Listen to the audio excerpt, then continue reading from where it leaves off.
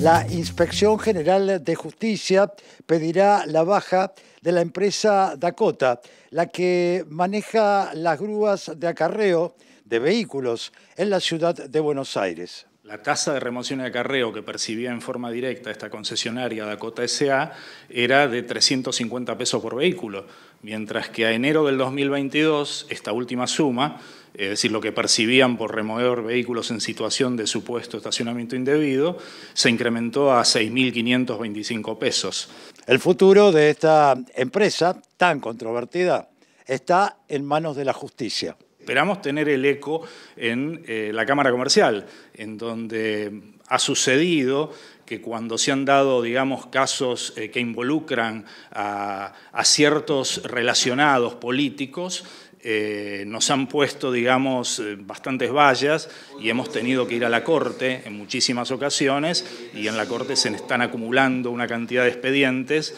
algunos por recurso extraordinario federal y otros por, queja porque nos deniegan el recurso extraordinario federal, en orden a que se resuelva finalmente